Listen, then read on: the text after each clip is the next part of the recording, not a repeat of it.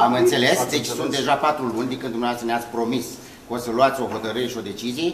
Socotim că trebuie să fiți alături de această instituție care a fost înființată de uh, regretatul uh, domnul sigur, Weber, dar nu se care face un așa, Dar înțelegeți-mă și pe mine că nu se poate lua o decizie dincolo de Vă lege. iubim din adânc cu inimă și vă așteptăm alături de Aveți răbdare conceptele și noastre. încredere, Nu da? putem să mai mergem cu un manager care a luat nota 8 la evaluare. Deci și că știm că care nu are un face nivel, un tupeu și o prădășie, indiferent care ar fi susținerea lui politică, să știți.